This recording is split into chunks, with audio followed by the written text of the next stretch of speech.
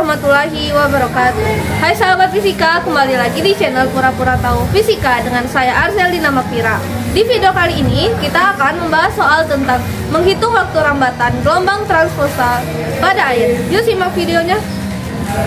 Soalnya, seorang nelayan merasakan perahunya dihempas gelombang sehingga perahunya bergerak dari puncak ke dasar adalah 4 sekon. Nelayan juga mengamati bahwa jarak antar puncak gelombang adalah 30 meter. Waktu yang diperlukan oleh gelombang untuk mencapai pantai yang jauhnya 60 meter adalah bisa dilihat ini adalah ilustrasi gambarnya. Sebelum kita menjawab soal, kita akan melengkapi gambarnya terlebih dahulu agar memudahkan kita dalam memahami soal untuk dijawab nantinya.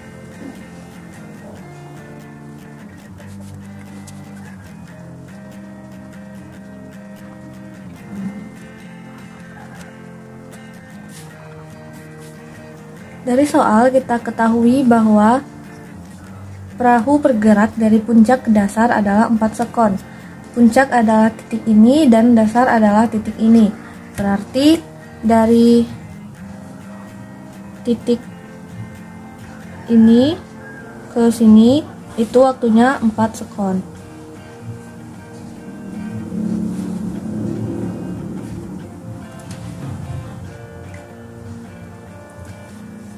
Dari soal juga kita ketahui bahwa jarak antar puncak gelombang adalah 30 meter. Puncak gelombang adalah titik teratas dari sebuah e, bukit. Jadi dari sini ke sini ini itu adalah jaraknya 30 meter. Titik ini kita simbolkan dengan titik A ini titik B dan yang ini titik C. Berarti 4 sekon adalah waktu yang diperlukan untuk menempuh dari titik A ke titik B. Kita simbolkan dengan huruf T A B sama dengan 4 sekon. Dan dari titik A ke titik C itu kita ketahui bahwa jaraknya adalah 30 meter. Berarti kita simbolkan dengan S A C sama dengan 30 meter. Yang ditanya dari soal adalah waktu yang diperlukan oleh gelombang untuk mencapai pantai yang jauhnya 60 meter. Di sini kita ibaratkan dengan pantai.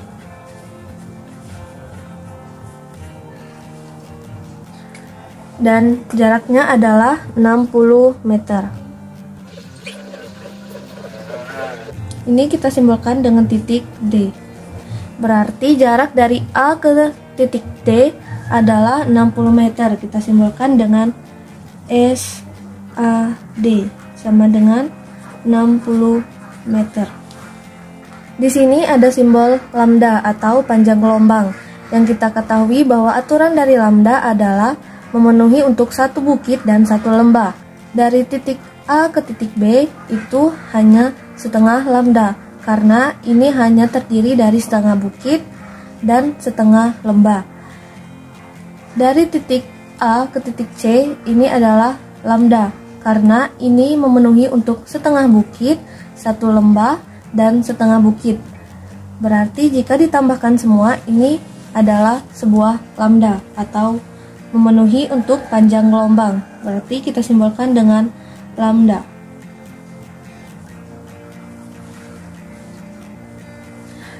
Yang ditanya adalah waktu yang diperlukan oleh gelombang untuk mencapai pantai yang jauhnya 60 meter. Berarti yang ditanya adalah waktu dari titik A ke titik D atau kita simbolkan dengan TAD. Dengan keterangan lambda adalah panjang gelombang.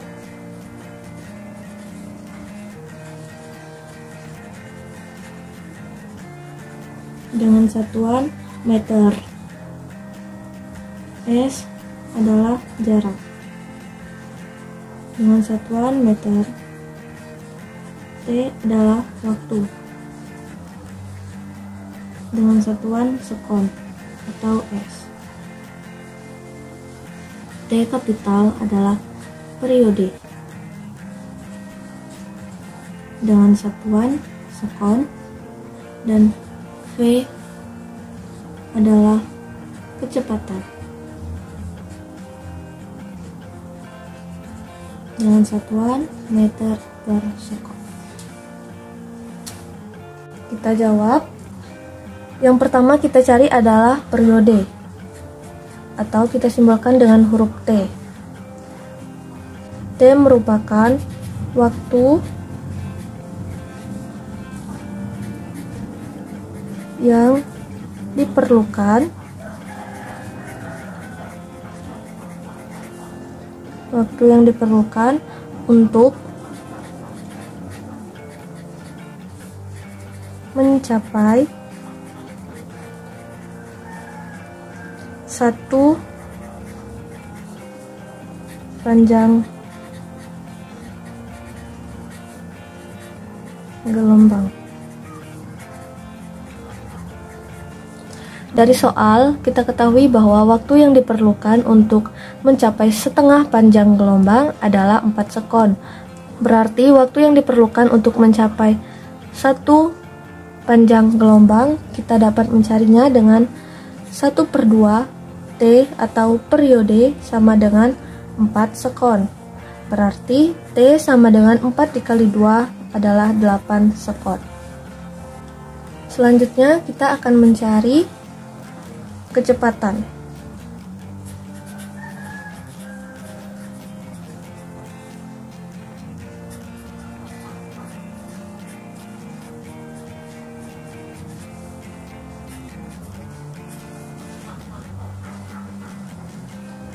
Untuk mencari kecepatan, kita dapat menggunakan rumus V sama dengan lambda dikali F. V sama dengan lambda dikali rumus dari F adalah 1 per T atau 1 per periode. V sama dengan kita masukkan nilai dari lambda. Di sini kita ketahui bahwa nilai dari lambda adalah 30 meter. Dan 1 per T T tadi sudah kita cari yaitu 8 sekon Berarti V sama dengan 30 dibagi 8 itu kita bisa sederhanakan menjadi 15 per 4 meter per sekon. Terakhir kita akan mencari waktu.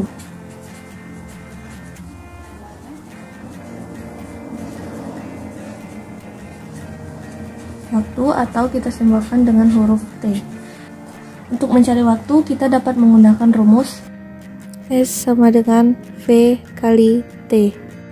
Karena yang dicari adalah waktu untuk menempuh dari titik A ke titik D, berarti S kita simbolkan dengan S A D sama dengan V dikali T A D.